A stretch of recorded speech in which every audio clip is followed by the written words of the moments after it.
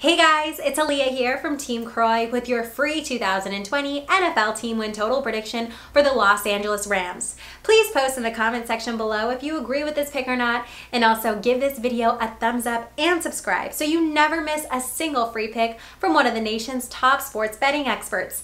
Now, Vernon Croy's free NFL team win total is on the Los Angeles Rams under 9 wins.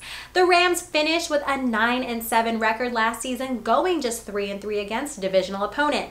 The Rams struggled big time defensively last season, allowing 22.8 points per game, which ranks 17th defensively in the NFL. Croy says that the Rams have too many holes on both sides of the ball coming into this season with the loss of several key players to free agency, and he would not be surprised to see the Rams finish last in their division.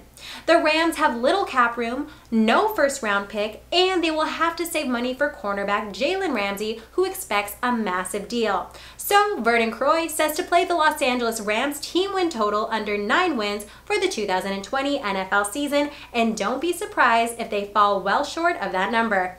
Now, please click that link below to get your free $60 premium picks account so you'll be ready to crush the books with Vernon Croy once the sports seasons resume. Thanks, and we appreciate your time.